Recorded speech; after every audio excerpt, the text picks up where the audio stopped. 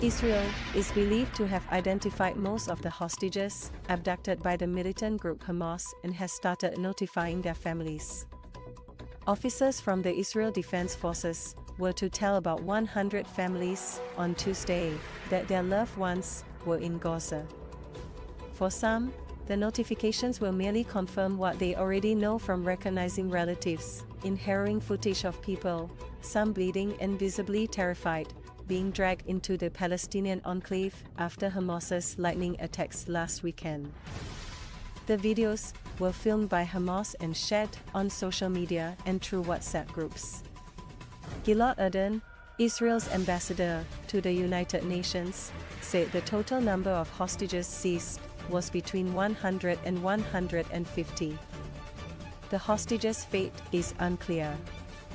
Israeli airstrikes have pounded Gaza in intensive waves every four hours, reducing apartment blocks to rubble.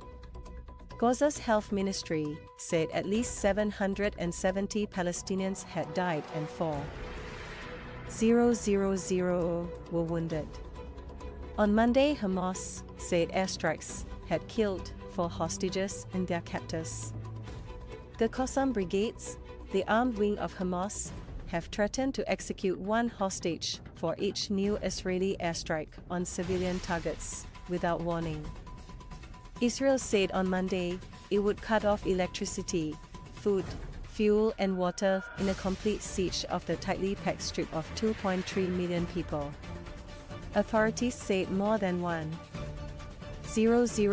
Israelis died in the Hamas attacks. Uncertainty over the hostages is an acute dilemma for the Israeli military as it plans a possible ground offensive in Gaza and is an agonizing ordeal for the hostages' relatives. Yossi Snyder told the BBC of his horror after seeing a picture of his cousin Beat and her two children, four-year-old Ariel and nine-month-old Kfir, surrounded by militants. Later in a video he said he saw Beat crying and holding her children. Beat, a kindergarten teacher who had been living in a kibbutz, was gentle and kind, said Snyder. She doesn't deserve this experience. Nobody does. I have no words to describe this. Beat's parents, Margaret and Yossi Silberman, and her husband, Yarden, were also missing, he said. Margaret has Parkinson's and diabetes. Uncertainty is tormenting relatives.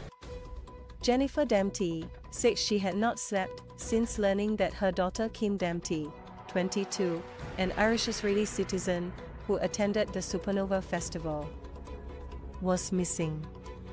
All I can think about is where she is, if she's suffering, if she's still alive, I just want her back.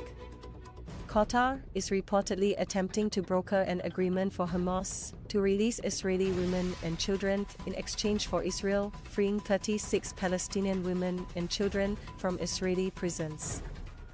Several foreign nationals are feared to have been taken hostage, including at least two Mexicans, three Brazilians, and an unknown number of U.S. citizens.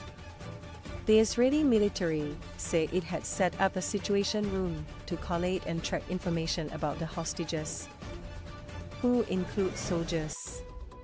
Police and the Army's Home Front Command have also established a situation room to identify those killed in Hamas attacks.